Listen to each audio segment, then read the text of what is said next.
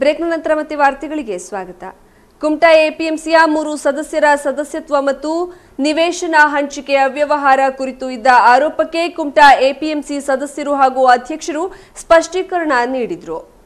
ಸುದ್ದಿಗೋಷ್ಠಿಯನ್ನ ಉದ್ದೇಶಿಸಿ ಮಾತನಾಡಿದ ಎಪಿಎಂಸಿ ಅಧ್ಯಕ್ಷರಾದ ರಾಮನಾಥ್ ಶಾನ್ಬಾಗ್ ಮಾತನಾಡಿ, ಕುಮಟಾ ರೈತ ಕ್ಷೇತ್ರದಿಂದ ಎರಡು ಸದಸ್ಯರು ಹಾಗೂ ವರ್ತಕ ಕ್ಷೇತ್ರದಿಂದ ಓರ್ವರು ಆಯ್ಕೆಯಾಗಿದ್ದು, ಇವರುಗಳು ಎಪಿಎಂಸಿ ಕಾಯ್ದೆಯ ಉಲ್ಲಂಘನೆ ಮಾಡಿ ಆಯ್ಕೆಯಾಗಿದ್ದಾರೆ ಎಂದು ಆರ್ಎಚ್ ನಾಯ್ಕ ಅವರು ಸಾರ್ವಜನಿಕರಿಗೆ ತಪ್ಪು ಮಾಹಿತಿ ನೀಡಿರುವುದನ್ನ ಗಮನಿಸಿದಾಗ, ಇವರಿಗೆ ಎಪಿಎಂಸಿ ಕಾಯ್ದೆ ಬಗ್ಗೆ ಒಂದು ಪರ್ಸೆಂಟೇಜ್ ರಷ್ಟು ತಿಳುವಳಿಕೆ ಇಲ್ಲವೆಂದು ಹೇಳಬೇಕಾಗುತ್ತದೆ. ತಮ್ಮ ದೂರಿನಲ್ಲಿ ಆರ್ಎಚ್ ನಾಯ್ಕರವರು ಆಪಾದಿತ ಈ ಮೂರು ಸದಸ್ಯರು ಸಂಸ್ಕರಣಾ ಸಹಕಾರಿಯ ಮತದಾರರ ಯಾದಿಯಲ್ಲಿ ಇರುವುದಾಗಿ ಹೇಳಿ, ಈ ರೀತಿ ಎರಡು ಕಡೆ ಹೆಸರು ಇರುವವರು ಎಪಿಎಂಸಿಗೆ ಆಯ್ಕೆಯಾಗಬಾರದೆಂದು ತಮ್ಮ ದೂರಿನಲ್ಲಿ ಆರೋಪಿಸಿರುವರು.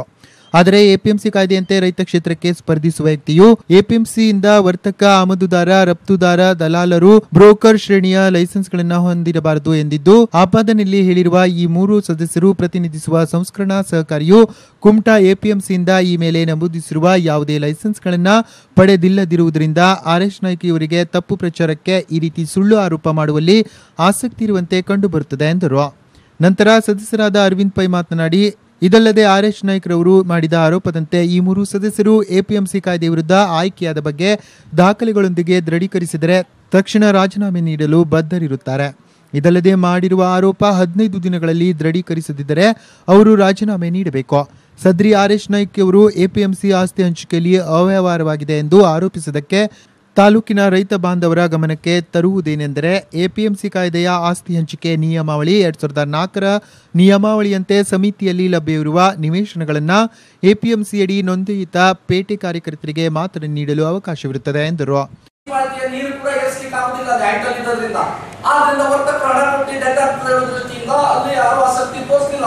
ಮೂರನೇ ಬಾರಿ ಪ್ರಕಟಣೆಗೂ, ಹಿಂದಿನ ದಿನಪತ್ರಿಕೆಗಳಲ್ಲಿ ಕೊಟ್ಟು ಪ್ರಕಟಣೆ ಮೂರನೇ ಬಾರಿಗೆ ಅಂದಿನ ಅಧ್ಯಕ್ಷರು ನನಗೆ ಹೇಳ್ಕೊಂಡು ವರ್ತಕರ ಮೀಟಿಂಗ್ ಕಳಿಸಿದ್ರು.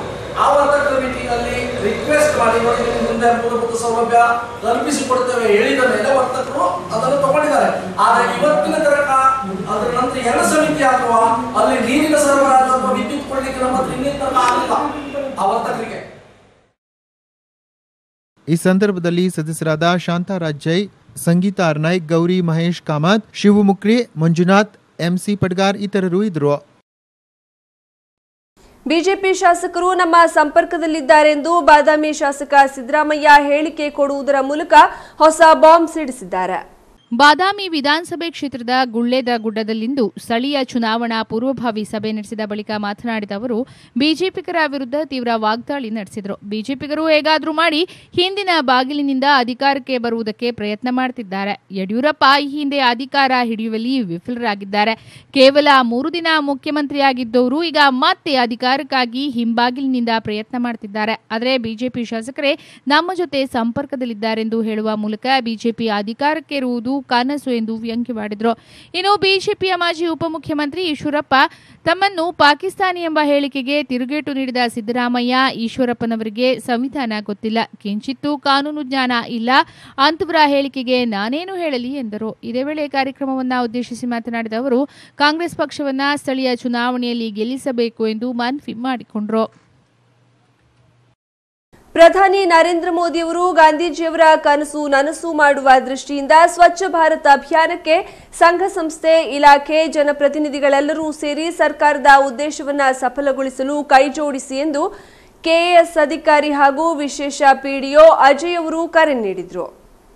ಹೊನ್ನಾವರ ತಾಲೂಕಿನ ಮಾವಿನಕುರುವ ಗ್ರಾಮ ಪಂಚಾಯತ್ ಸಭಾಭವನದಲ್ಲಿ ನಡೆದ ಸ್ವಚ್ಛ ಭಾರತ್ ಮಿಷನ್ ಅಡಿಯಲ್ಲಿ ಜಿಲ್ಲಾ ಪಂಚಾಯತ್ ಉತ್ತರ ಕನ್ನಡ, ತಾಲೂಕ್ ಪಂಚಾಯತ್ ಹೊನ್ನಾವರ, ಗ್ರಾಮ ಪಂಚಾಯತ್ ಮಾವಿನಕುರುವ ಇದರ ಸಂಯುಕ್ತ ಆಶ್ರಯದಲ್ಲಿ ನಡೆದ ಸ್ವಚ್ಛ ಸರ್ವೇಕ್ಷಣ ಗ್ರಾಮೀಣ ಎರಡು ಸಾವಿರದ ಹದಿನೆಂಟರ ತರಬೇತಿ ಕಾರ್ಯಾಗಾರದಲ್ಲಿ ಮಾತನಾಡಿದರು. ಈ ಅಭಿಯಾನದ ಪರಿಕಲ್ಪನೆ ಗ್ರಾಮ ಸ್ವಚ್ಛತೆಯೊಂದಿಗೆ, ಮನೆಯ ಶೌಚಾಲಯ, ಇತರ ತ್ಯಾಜ್ಯ ವಿಲೇವಾರಿಯೊಂದಿಗೆ ಪ್ರತಿ ಕುಟುಂಬಕ್ಕೂ ನೈರ್ಮಲ್ಯದ ಸೌಲಭ್ಯವನ್ನು ಒದಗಿಸಿಕೊಡುವ ಮಹತ್ವಾಕಾಂಕ್ಷಿ ಯೋಜನೆ ಇದಾಗಿದೆ. ಪ್ರತಿಯೊಬ್ಬರು ಆರೋಗ್ಯವಂತರಾಗಿರಬೇಕು ಎನ್ನುವುದೇ ಇದರ ಉದ್ದೇಶವಾಗಿದೆ ಎಂದರು. ಕಾರ್ಯಕ್ರಮ ಉದ್ಘಾಟಿಸಿದ ಗ್ರಾಮ ಪಂಚಾಯತ್ ಅಧ್ಯಕ್ಷ ತಿಲಕ್ಗೌಡ ಮಾತನಾಡಿ, ಪ್ರತಿ ಗ್ರಾಮ ಪಂಚಾಯತ್ ಮಟ್ಟದಲ್ಲಿ ಸರ್ಕಾರ ವಿವಿಧ ಕಾರ್ಯಕ್ರಮವನ್ನ ಸ್ವಚ್ಛತೆಗಾಗಿಯೇ ಕಾಯ್ದಿರಿಸಿದೆ ಇದರ ಸಂದೇಶವನ್ನ ಮನೆ ಮನೆಗೆ ಮುಟ್ಟಿಸುವುದರ ಅದರೊಂದಿಗೆ ಶಾಲಾ ಕಾಲೇಜುಗಳಲ್ಲಿ ಜಾಗೃತಿ ಮೂಡಿಸುವ ಕೆಲಸ ಆಗಬೇಕಿದೆ. ಜನರು ಈ ನಿಟ್ಟಿನಲ್ಲಿ ಕೈಜೋಡಿಸಿ ಎಂದರು. ತಾಲೂಕಾ ನೌಕರರ ಸಂಘದ ಉಪಾಧ್ಯಕ್ಷ ಹಾಗೂ ಮುಖ್ಯೋಧ್ಯಾಪಕರಾದ ಎಂಜಿ ನಾಯ್ಕ್ ಮಾತನಾಡಿ, ಗಾಂಧೀಜಿಯವರ ಕನಸು ಇದೇ ಆಗಿತ್ತು. ಪ್ಲಾಸ್ಟಿಕ್ ಉತ್ಪನ್ನಗಳ ಬಳಕೆ ನಿಲ್ಲುವಂತಾಗಬೇಕು. ಪ್ರತಿ ಮನೆಯವರು ಈ ಬಗ್ಗೆ ದೃಢ ನಿರ್ಧಾರ ಕೈಗೊಳ್ಳಬೇಕು. ಡೆಂಗ್ಯೂ, ಚಿಕನ್ ಗುನಿಯಾದಂತಹ ರೋಗ ಬರಲು ನಮ್ಮಲ್ಲಿರುವ ಅಸ್ವಚ್ಛತೆ ಕಾರಣ. ಸಾಂಕ್ರಾಮಿಕ ರೋಗ ಮುಕ್ತ ಗ್ರಾಮೀಣ ಪ್ರದೇಶವನ್ನಾಗಿಸುವಲ್ಲಿ ಸ್ವಚ್ಛತೆಯ ಅರಿವು ಅಗತ್ಯವಾಗಿದೆ. ಇದೊಂದು ಸಾಮೂಹಿಕ ಜವಾಬ್ದಾರಿಯಾಗಿದೆ ಎಂದರು. ಪ್ರಾಥಮಿಕ ಆರೋಗ್ಯ ಕೇಂದ್ರದ ವೈದ್ಯಾಧಿಕಾರಿ ಡಾಕ್ಟರ್ ಗಜಾನನ್ ಹೆಗಡೆ ಆರೋಗ್ಯ ಜಾಗೃತಿ ಕುರಿತು ಮಾಹಿತಿ ನೀಡಿದರು. ಕೆಎಸ್ ಅಧಿಕಾರಿ ಅಜಯ್ ರವರ ತಂಡದಿಂದ ಕಾರ್ಯಾಗಾರ ಹಾಗೂ ಸ್ವಚ್ಛತೆ ಪಾಲನೆಯಲ್ಲಿ ಕೈಗೊಳ್ಳಬೇಕಿರುವ ಕಾರ್ಯಚಟುವಟಿಕೆ ಕುರಿತು ಪ್ರಾತ್ಯಕ್ಷಿಕೆ ನೀಡಲಾಯಿತು. ಶಿಕ್ಷಣಾಧಿಕಾರಿ ಶಿವಾನಂದ್ ಗ್ರಾಮ ಪಂಚಾಯತ್ ಸದಸ್ಯರು, ವಿವಿಧ ಸಂಘ ಸಂಸ್ಥೆಯ ಸದಸ್ಯರು, ಆಶಾ ಕಾರ್ಯಕರ್ತರು ಕಾರ್ಯಾಗಾರದಲ್ಲಿ ಭಾಗವಹಿಸಿದರು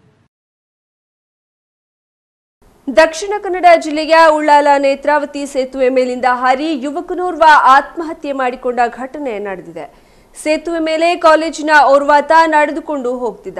ಆಮೇಲೆ ಏನಾಯ್ತೋ ಗೊತ್ತಿಲ್ಲ.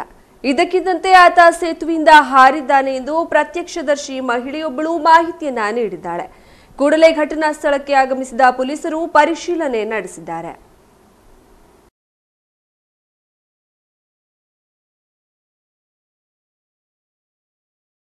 ಇನ್ನಷ್ಟು ಸುದ್ದಿಗಳನ್ನ ನೋಡೋಣ. ಸ್ಮಾಲ್ ಬ್ರೇಕ್ ನಂತರ.